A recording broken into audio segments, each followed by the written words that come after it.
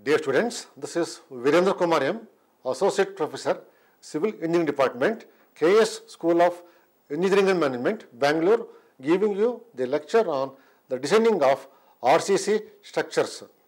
That is, will be specific to designing of RCC water tanks. First, let us see the uh, course curriculum as uh, prescribed by the VTU.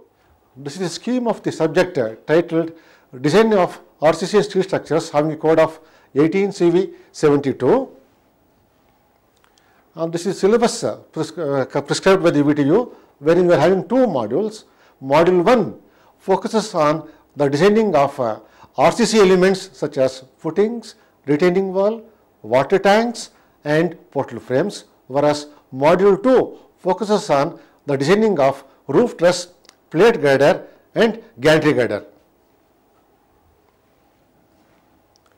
this is the question paper pattern as prescribed with the VTU wherein two questions will be set from each of the two modules. Each questions will carry 50 marks. So, students must attempt one full question from each of the two modules. Next, different type of water tanks. Well, we are having the tanks, classification of tanks such as ground level water tanks and elevated water tanks. What are ground level tanks? These are the tanks which are supported on a firm hard ground whereas elevated tanks are the tanks which are positioned at a elevated level for water supply purpose. Why do we use these ground level water tanks? Well, at water treatment works where we process the water for uh, purification purpose, we use ground level water tanks and for supplying the treated water, we use elevated water tanks such that water can be supplied at gravity to the uh, supply scheme. Next, this is the typical view of a, uh, circular water tank resting on a ground where you can see a pump house located in the front of the water tank. Next, design principles of RCC tanks. The main design principles involved in RCC tanks are design section by using working stress concept. What is working stress concept? This is a concept where designing is made such that the maximum stresses induced in the uh, materials must not exceed the permissible value as stipulated in the codes, codes of practice. For water tanks, we refer IS 3370 for with respect to permissible stresses. So, this is table 1 which gives you the permissible stresses for concrete in direct tension for different grades of concrete starting from M25 to M50.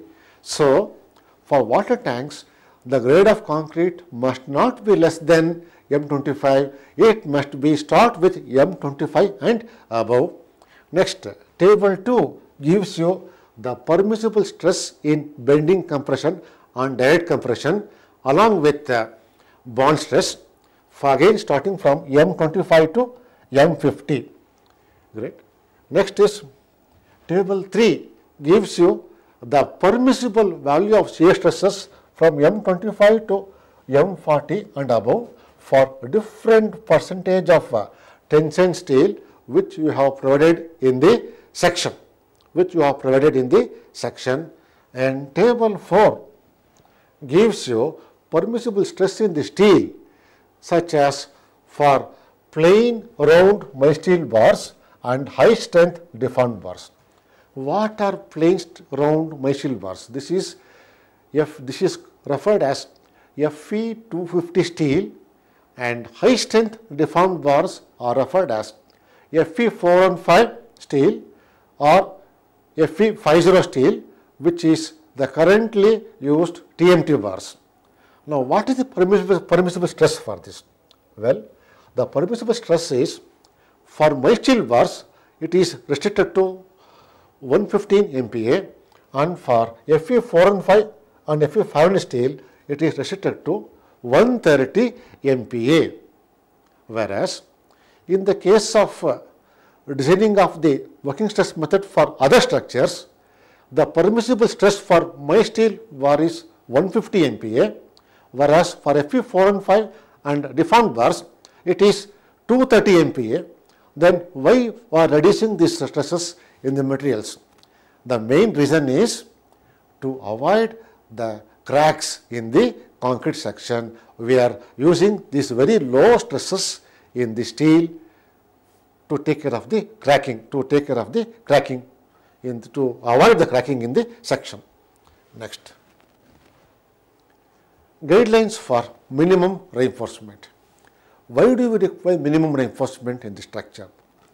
These steel are required to take care of the thermal stresses induced due to variation in the seasons, due to variation in the seasons. For example, from summer to winter, the structure will respond to this uh, seasonal changes.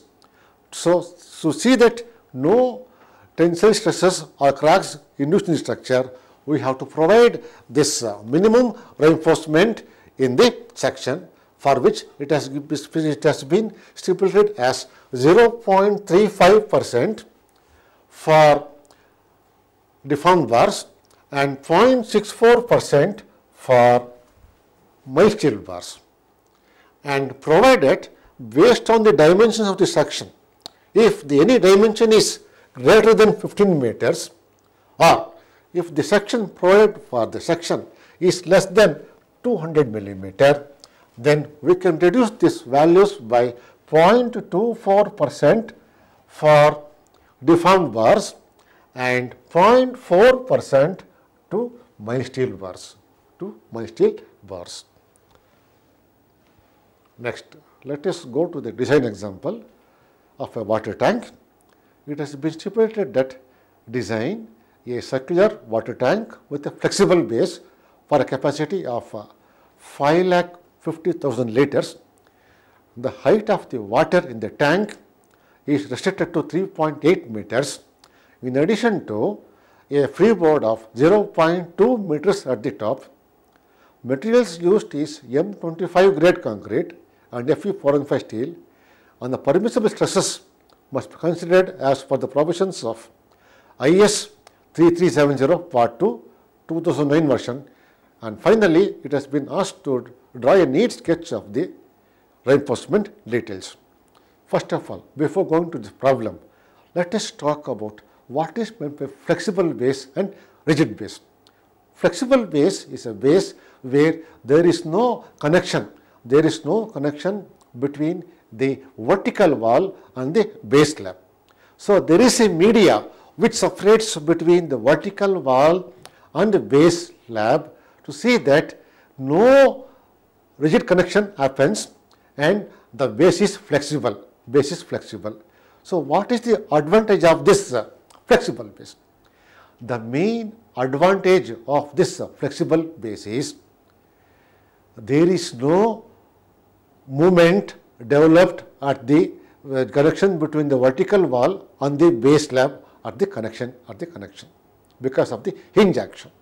Whereas in the case of rigid base, there is a perfect rigid connection between the vertical wall and the base slab to say that the moment uh, develops at the connection. That is the major difference between the flexible base and the rigid base. So, in flexible base, there is no flexure, only force encountered in the vertical wall is only hoop tension. In the case of flexible, uh, in the case of rigid base, the flexure, the moment also will be acting in the vertical wall. Yes. Next. First, data given. Capacity of the tank required is 5 lakh 50,000 liters. So, considering that 1 meter cube of volume occupies 1000 liters, the capacity of the tank in cubic meter is obtained by the is obtained by dividing by dividing this value by 1000 which gives you the capacity as 550 cubic meter. Next, the depth of the water, that is the depth of the water is mentioned as 3.8 meters, which is being denoted by small h, and the freeboard at the top is given as 0.2 meters.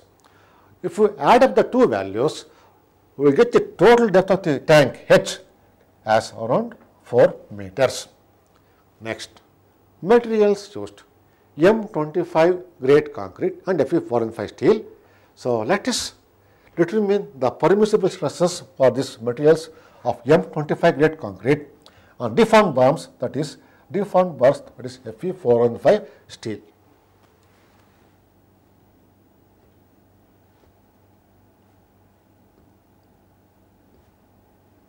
Yes.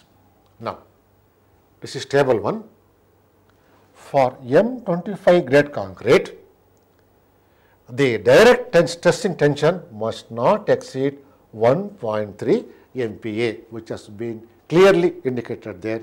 If the stress exceeds this value, there is a possibility of development of cracks in the tanks. So, so you have to see that the design must foresee that at any point of time, this value of stress, direct tension stress must not exceed 1.3 MPa for our M25 grade concrete. Next. Yes. Permissible bending compressive stress. Permissible bending compressive stress for M25 grade concrete must be restricted to 8.5 MPa. 8.5 MPa. So, at any point of time, the stress must not exceed this value for safety reasons. Next, permissible stress in the concrete shear stress. This safety check is done after providing the main reinforcement in the section. These checks are done after the uh, checking the after providing the main reinforcement in the section. Again, based on the percentage of tension steel provided, tension steel percentage of tensile steel provided, we have to see what is the permissible stresses based on the different rates of concrete from starting from M25 to M40 and above. Yes. Next, table 4. This gives you permissible stresses for steel reinforcement. In our case, it has been stipulated this that steel is of Fe415 grade.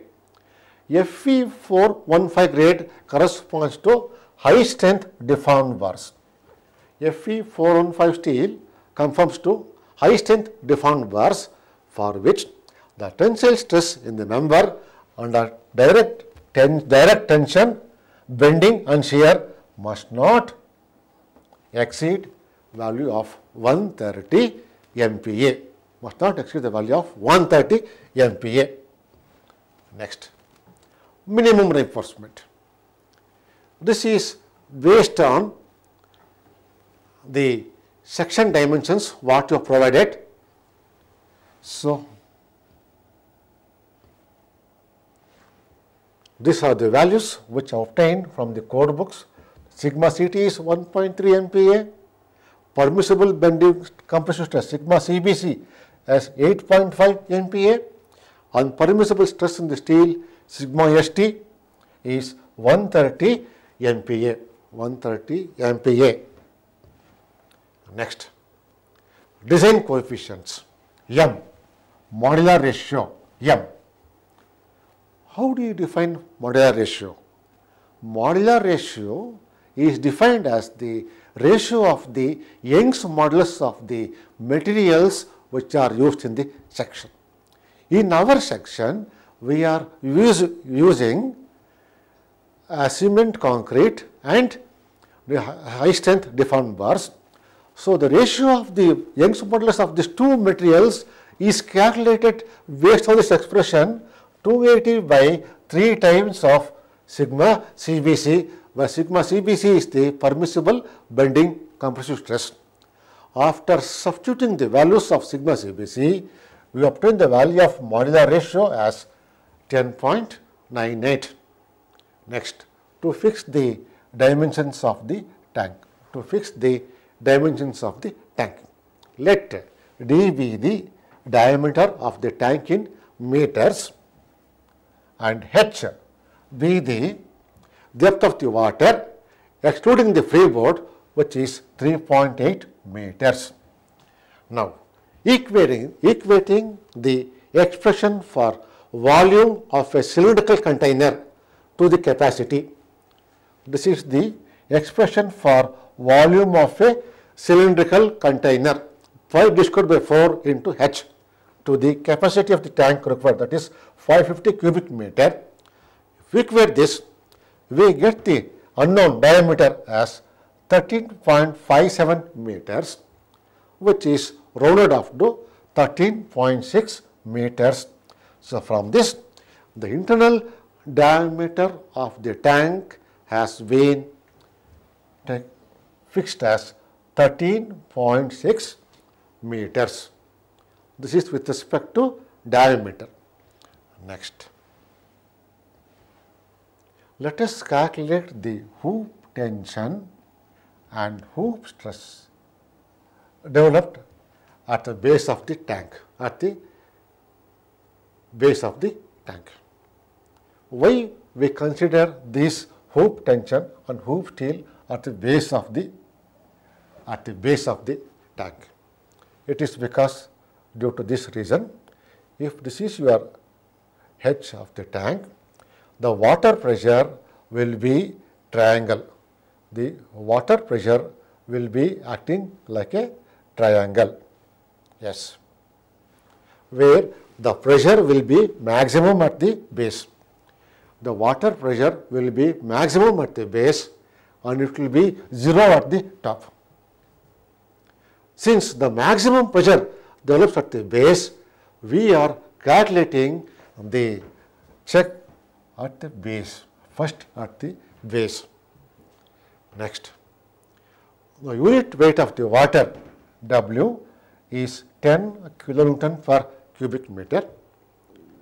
And we have a expression for the hoop tension, maximum hoop tension, maximum hoop tension as W into H into dV by 2, where W is the unit weight of water, H is the total height of the tank, D is the diameter of the tank.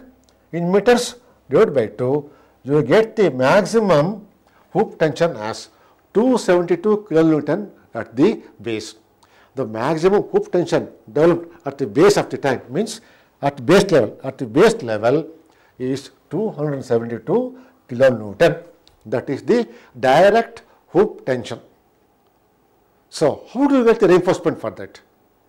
If you divide the maximum hoop tension, if you divide the maximum hoop tension by permissible stress in the steel, by permissible stress in the steel that is sigma st value, we get the rate of reinforcement as AST as 2092 square mm per meter height at the base, per meter height of the base. Means for this bottom 1 meter, for this base 1 meter height, we consider AST as 2092 square millimeter for base 1 meter height. Next, calculation of the thickness of the vertical wall, calculation of thickness of the vertical wall T. For this, we are using a derived expression. This is a derived expression. This is a derived expression available with uh, there with, with which is which gives you safety with respect to thickness of the uh, vertical wall. We are equating this equation to sigma Ct which is the permissible tensile stress in the concrete sigma Ct which is 1.3 MPa in our case. What are the values? We are going to substitute in this expression W that is the unit weight of water, H is the total height of the tank, D is the diameter of the tank in meters and I am multiplying this by 10 to the power of 3 to convert it in uh, to, to convert the kilonewton into uh, newtons. I am dividing this by factor 10 to the power of 3 such that WHD is being converted to newtons. Be, uh, that uh, this value is converted to newtons.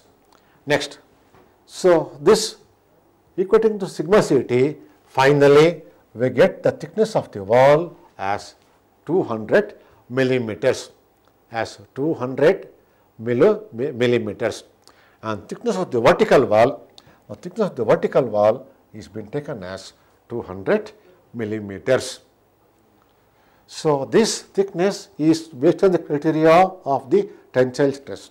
So, your art lies in this design because if this the condition is not satisfied, if the stresses are more, if sigma ct is more, more than 1.3 MPa, then the tensile uh, cracks will appear in the tank structure. So, which should not happen, which should not happen in the design. Next. Yes. Reinforcement details in vertical bar. Minimum steel required. Minimum steel required. How to calculate this minimum steel required for this uh, section? It is based on the two criteria. One is we have to see what is the maximum dimension of the tank and next what is the thickness of the vertical wall provided because based on these two we are going to design this factor what it is.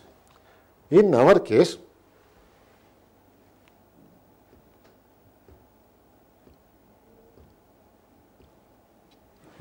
in our case the diameter of the tank provided is 13.6 meters which is less than 15 meters which is less than 15 meters. What about thickness of the vertical element? It is 200 mm, 200 mm. It is not less than 200, it is 200 mm. So, based on this criteria, based on this criteria, we have to provide minimum steel requirement of around 0.35 percent of 0.35 percent of the cross section, 0.35 percent of the cross section.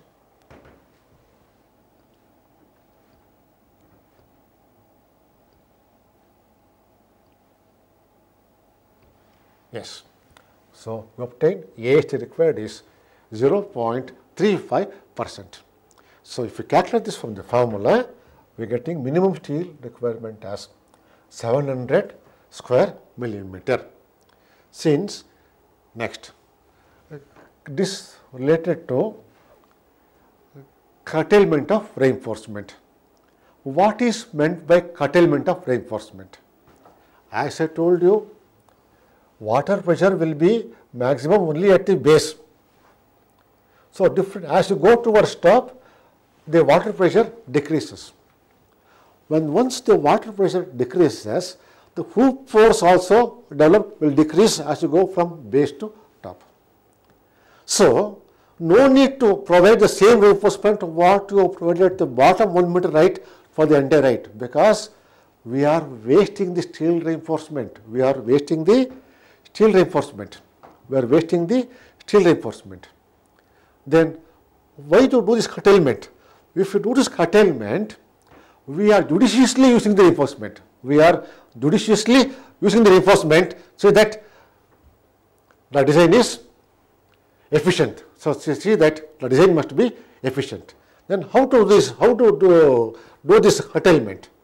For curtailment, we calculate what is the hoop force developed at every 1 meter interval. We calculate what is the hoop force developed at every 1 meter interval and calculate the steel, what is it required there and compare the steel with the minimum steel and compare the steel with the minimum steel. If our design steel is more than the minimum steel, we will provide the design steel. If our design steel is less than the minimum steel, then we have to provide minimum steel as the required steel in the section. So, based on those guidelines, we have calculated the hoop tension starting from different heights. A top 1 meter, hoop tension is 160 kilonewton, for which your the calculated hoop steel was less than the minimum, was less than the minimum So, based on that we have provided minimum steel of 700 square millimeters. So, if you provide a diameter of 20 mm diameter bar, spacing required for hoop steel is 450 millimeter center to center. Next, again at 2 meters below, the hoop tension is increases to 136 kilonewton, for which the 20 mm bar is provided 300 mm center to center. So, 3 meters from the top, yes, hoop tension increases, yeah, steel also increases, but spacing will decrease. The spacing of the reinforcement will decrease. And the bottom, or to bottom 1 meter height, that is where maximum hoop force develops, we have to provide 20 mm at a spacing of 150 mm center to center. And what is meant by hoop steel? It is a ring-like steel. It is a ring-like steel provided all round the tank. This is called as the hoop reinforcement. So, in our case, this is a 20 mm diameter ring provided at the entire periphery of the tank, or the entire periphery of the tank. This is known as the hoop reinforcement. Next. Vertical steel. This is again the minimum steel required in the vertical direction where there is no force, where there is no force acting, but however, for the guidelines of the minimum steel, we have to provide minimum steel required that is 700 square meter, that is 700 square millimeter. Hence, providing 12 mm dia bars, hence providing 12 mm bars, the spacing required for this is around 160 millimeter center to center. This is the steel provided to safeguard the minimum steel requirements in the vertical direction. Next, base slab, tank base slab. In this case, flexible base, there is no rigid connection between the vertical wall and the base slab. As such, there is no force transfer taking place from the vertical wall to the base slab. So, base slab is completely isolated from the vertical wall and the base slab is resting on a firm hard ground on the resting on a firm hard ground. So, based on these guidelines we will always provide a minimum nominal thickness. We will always provide a minimum nominal thickness for the base slab as around 150 mm as around 150 mm. This is based on the practical guidelines. There is no force in the base slab. Base slab simply rests on the hard ground as it is. Next, for that what is the reinforcement required? For 150 mm thick, we can provide minimum steel requirement as 0.24 percent as 0.24 percent because 150 mm is less than the 200 millimeter as per our guidelines of our minimum steel requirement. For that, so let us provide this 0.24 percent. The steel requirement is 360 square millimeters, 360 square millimeters, 360 square millimeter. Let us provide 10 dia bars. For providing 10 dia bars, the spacing required is 200 millimeter center to center at both ways at the top of the base slab, at the top of the base slab. Uh, next, let us see the detailing of the reinforcement. This is very, very important. Detailing of the reinforcement is a very, very important step in our water tank design. How to detail this reinforcement? Yes, this is a flexible joint. This is a flexible joint. This is a flexible joint between the vertical wall and the base slab. Between vertical wall and the base slab. How do you create that flexible uh, zone? This zone is created by adding a joint sealing bitumen compound by providing a pool of uh, joint sealing bitumen compound at the base with the connectivity between the vertical wall and the base slab is lost. No force transfer takes place from the uh, no moment transfer. There is no moment transfer taking place from the vertical wall to the base slab, from the vertical wall to the base slab.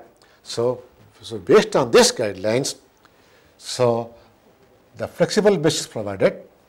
Now, the reinforcement which I have shown in the circle is the hoop steel, is hoop steel which is of a circular in shape.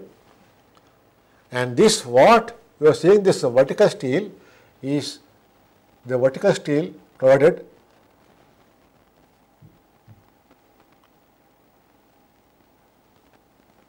round the rings. Vertical steel provided round the rings. Okay.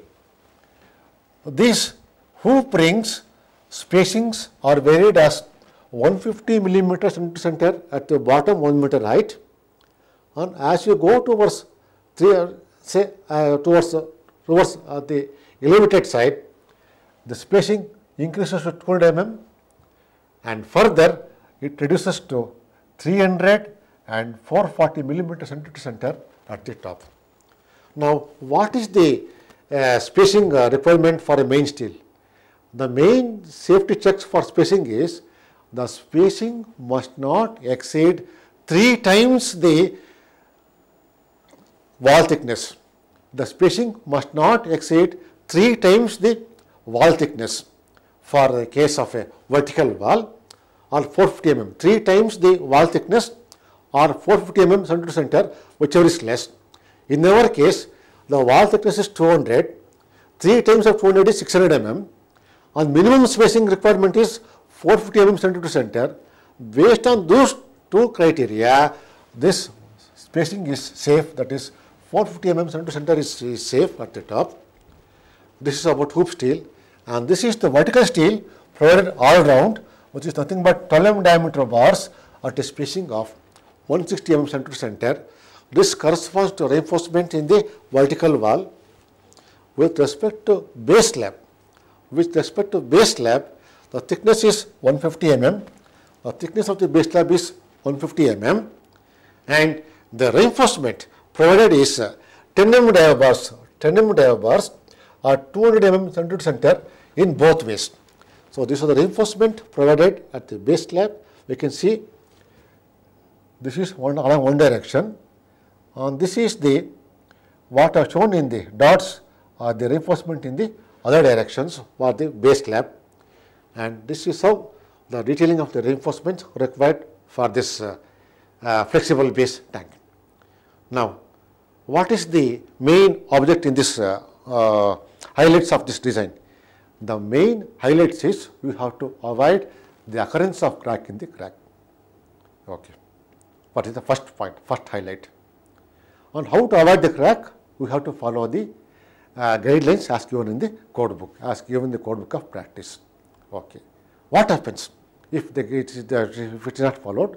Cracks will occur, cracks will occur and it will not serve the purpose.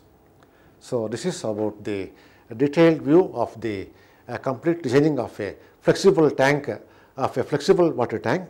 In the next design, we will going to concentrate on the designing of a rigid jointed tank and a rigid uh, jointed water tanks, wherein we consider a fix connect fixity or the connectivity connection between the base slab and the uh, vertical slab, so that we can be aware of all the design criteria, criteria which are there in practice. So, the remaining of the, uh, the design that is uh, uh, designing of a circular water tank with respect to rigid base I will follow up in my next session. Thank you one and all for my listening. Thank you.